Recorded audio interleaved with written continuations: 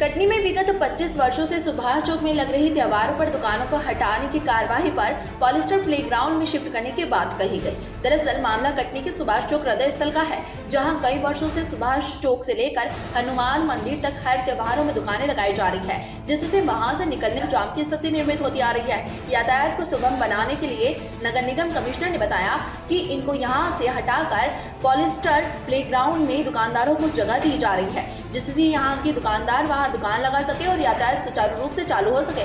क्योंकि वहाँ पे वो रहा ना? झंडा। कहाँ लगाएँगे आप अभी इधर तो लगाए हैं। कितने साल से लगा रहे हैं दुकान यहाँ? हम लोग बहुत साल से लगा रहे हैं पंद्रह सोलह साल से हो अब डर के बदौलत दिए हम लोग को। हाँ। क्या नाम है हमारा नाम बसंती जी कहाँ की रहने वाली है? यहाँ भट्टा मोहल्ला गड्ढा टोला। दुकान कहाँ लगाती है?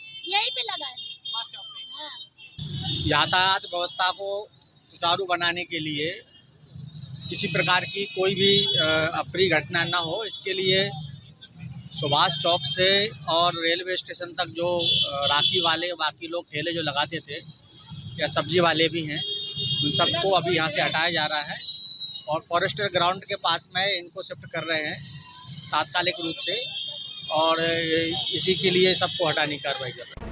कटनी से प्रवीण कुमार पाराशर की यह रिपोर्ट।